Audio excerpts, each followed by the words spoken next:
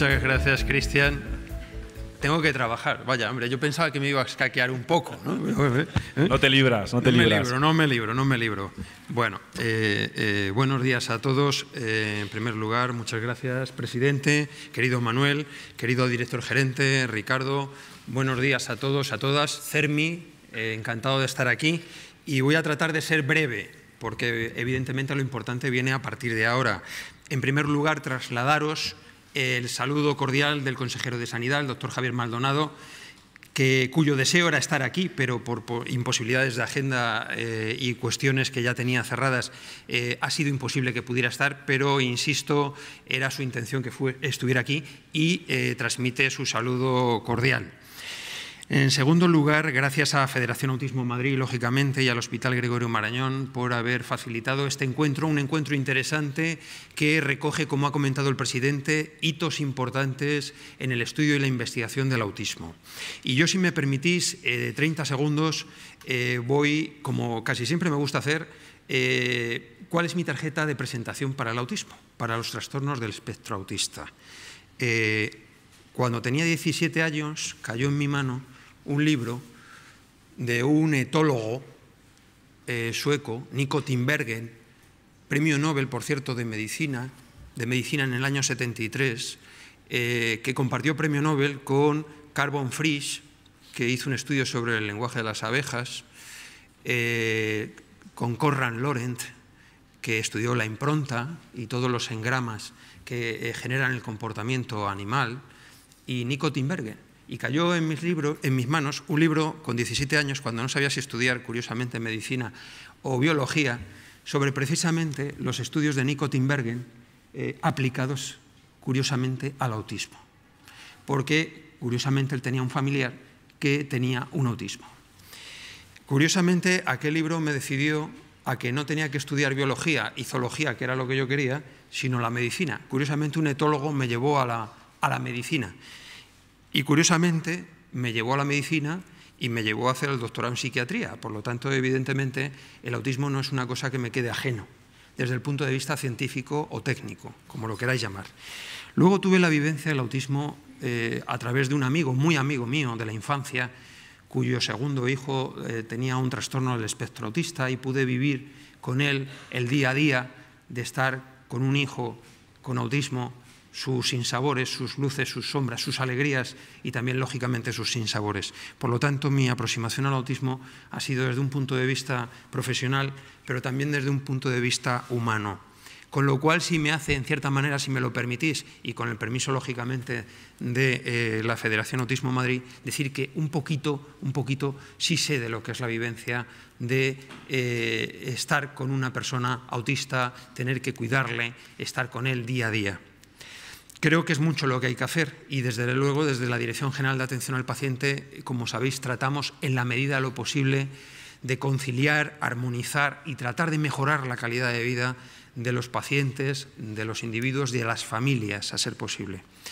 Creo que es muy importante. Estamos en una situación, el trastorno espectro, espectro, autista, que como sabéis tiene una prevalencia que aunque es variable, el último dato que yo he visto de la Universidad Autónoma de Madrid lo refleja entre uno eh, de 1.000, 1.500 individuos, lo cual lógicamente hace pensar que en la Comunidad de Madrid tenemos eh, varios miles de pacientes con trastorno del espectro autista, sobre todo menores de 18 años, y gran parte de esos eh, eh, eh, pacientes con trastorno espectro autista son manejados en la unidad Amitea, que como ha dicho el director gerente es una unidad absolutamente pionera. Hace dos años me acuerdo que estando en el Reino Unido estuve escuchando un comentario precisamente sobre la unidad Amitea y no sabían que yo era médico, curiosamente.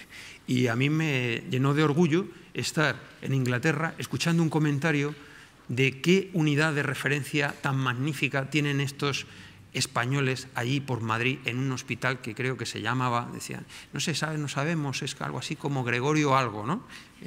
Yo, lógicamente, como podéis imaginar, les terminé, les terminé de ilustrar que era el Hospital Gregorio Marañón y que efectivamente tenemos una unidad absolutamente de referencia, que trata a 1.563 pacientes desde luego a fecha enero-febrero, por lo tanto posiblemente ahora sean más. Y que no solamente es el hospital y la unidad, sino que incluso ha contado con el apoyo incluso de un centro de salud mental muy cercano, que es el Centro de Salud de Retiro, que también es otra, otra vía de entrada para poder, eh, para poder eh, diagnosticar el trastorno espectro autista. Creo que tenemos esa unidad de referencia y la tenemos que cuidar y tenemos que cuidar, sin lugar a dudas, a los profesionales que estáis en ella. Sin lugar a dudas, aquí el impulso fundamental, aparte de Mara, es lógicamente el de Celso Arango. Tenemos que mimar a gente que es referente a nivel mundial y por lo tanto creo que esto es importante y hay que ponerlo encima de la mesa. Estamos también en unas jornadas que estas son las sextas que van a abordar temas muy interesantes. Creo que es muy importante el diagnóstico y el diagnóstico diferencial. Tenemos una herramienta magnífica, tenemos el A2G. Si no tenemos herramientas diagnósticas que sean adecuadas, difícilmente vamos a poder hacer el diagnóstico diferencial. Pero también, aparte de las herramientas diagnósticas, tenemos que hacer una importante labor de sensibilización y de formación. Ahora, junto con Federación Autismo Madrid, estamos haciendo una importante labor de sensibilización, de formación en autismo en atención primaria, porque nos interesa muchísimo que los médicos de familia y la atención primaria en general sepa lo que es el autismo y tenga mm, eh, claro cuáles son los signos, digamos, eh, de alerta de lo que podría ser un trastorno del espectro autista. Entendemos que cuanto antes realicemos el diagnóstico, muchísimo mejor. Y sabemos que el diagnóstico muchas veces nos viene del sector educacional. Claro, yo soy médico, entonces, a mí me interesaría mucho que no solamente la vía de entrada del diagnóstico fuera el sistema educacional, que lo es, sin lugar a dudas, y para eso educación, lógicamente, tratará de poner recursos, sensibilización, formación a sus profesores y profesoras, sino que también, lógicamente, nos interesa hacer el diagnóstico, sin lugar a dudas, me perdonáis la expresión, FETEN, el más ajustado posible, el más exacto posible y lo antes posible.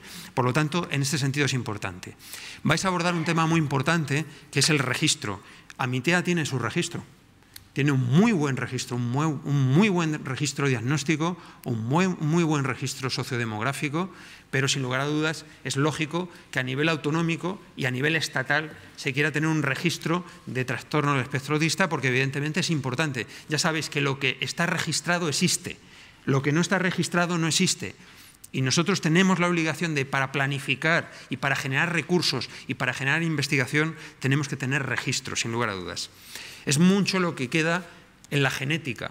Sin lugar a dudas, yo creo que tenemos la suerte, sobre todo los que veo que estáis, que sois muy jóvenes, estamos en la puerta de la eclosión del diagnóstico genético. Esto es una suerte tremendamente grande, porque los que ya somos un poco mayores pues siempre nos basábamos, sabíamos que había, lógicamente, y existe una connivencia y una interdependencia de lo ambiental con lo genético y biológico, pero ahora, sin lugar a dudas, estamos ante la eclosión del diagnóstico genético y vamos a asistir, sin lugar a dudas, a una importante, eh, a un importante mm, eh, diagnóstico genético lo más exacto posible y, sin lugar a dudas, estamos ante, un nuevo, ante nuevos retos.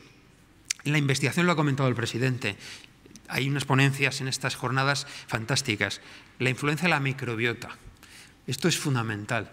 Nos hemos encontrado hace escasamente una década que nuestro intestino y nuestro aparato digestivo está colonizado. ¿Qué digo colonizado? Muy colonizado, con un verdadero ecosistema.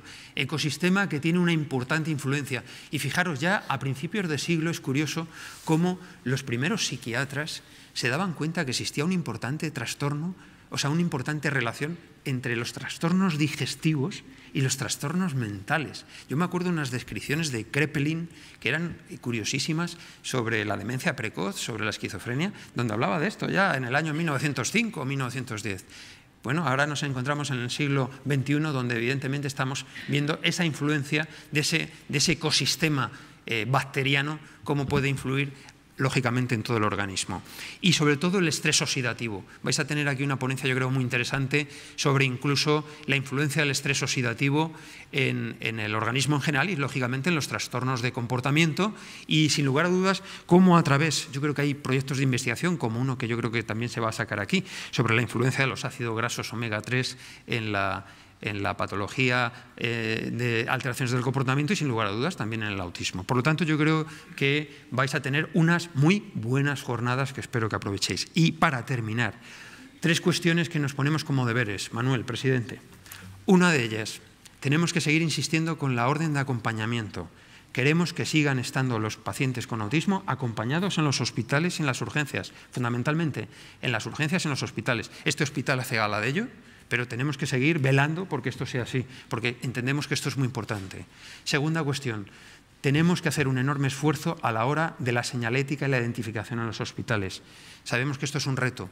Necesitamos que esa señalética y esas, esa, digamos, entornos amables en el hospital eh, faciliten lógicamente la estancia no solamente de los pacientes, sino de las familias. Por lo tanto, esto es muy importante. Y sin lugar a dudas, el tercer reto, que es muy importante. Aquí, educación, servicios sociales y sanidad, no es que tengamos que estar juntos, es que debemos estar juntos sí o sí, no queda más remedio. Tenéis nuestro compromiso. Debo decir, tú has dicho que estamos en periodos de cambio. Y es verdad que estamos en periodos de cambio, pero desde luego lo que yo sí os quiero decir aquí eh, públicamente es que tenéis nuestro compromiso, vais a seguir teniendo nuestro compromiso y sin lugar a dudas a nivel personal y profesional del doctor Zarco, esté donde esté, vais a contar con mi apoyo, mi trabajo y sin lugar a dudas mi voluntad de mejorar lo que pueda mejorar. Sin más, muchísimas gracias. Daros la enhorabuena por el trabajo tan enormemente importante que estáis haciendo, no solamente para los pacientes y las familias, sino lo que es importante para la sociedad, porque estáis vertebrando la sociedad civil y eso es muy importante. Y damos por inaugurado, ahora sí, Cristian, las estas jornadas. Gracias. Muchísimas gracias.